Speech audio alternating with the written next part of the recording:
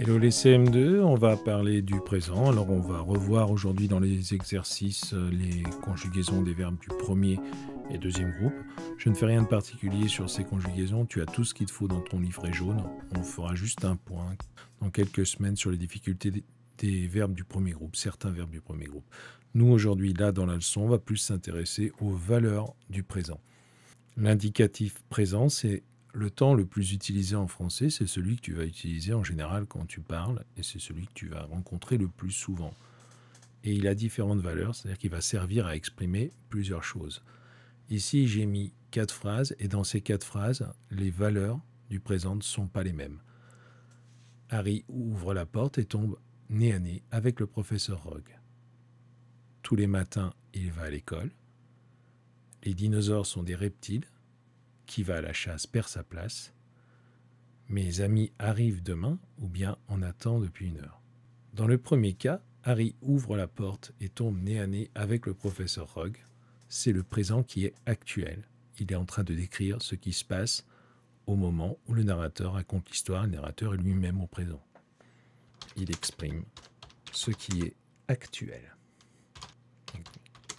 Ce qui se déroule en ce moment tous les matins, il va à l'école.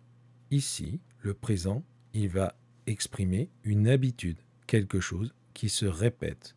Tous les matins, il va à l'école. Ce n'est pas seulement aujourd'hui, c'était hier et ce sera encore demain. Il exprime ce qui est habituel. Les dinosaures sont des reptiles. Qui va à la chasse perd sa place. Dans cette phrase, le présent, il exprime quelque chose qui est toujours vrai. Dans le premier cas, bah, c'est une affirmation scientifique, c'est quelque chose que l'on sait, les dinosaures sont des reptiles, même s'il n'y a plus de dinosaures sur Terre, ils restent des reptiles et resteront des reptiles.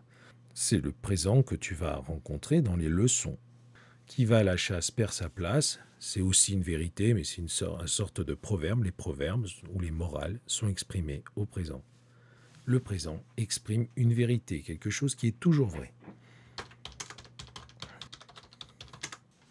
Et enfin, mes amis arrivent demain, où on attend depuis une heure. Mes amis arrivent demain, il exprime un futur très proche, un futur imminent, où on attend depuis une heure. Il exprime aussi quelque chose qui a duré jusqu'à maintenant. Cela fait une heure qu'on attend. Il exprime un futur très proche. Il exprime une action n'est pas encore terminé.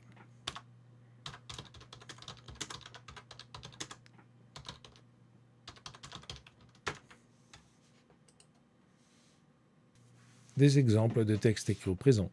Les leçons, les définitions des dictionnaires, les articles des encyclopédies, les textes des documentaires dans les livres ou à la télévision.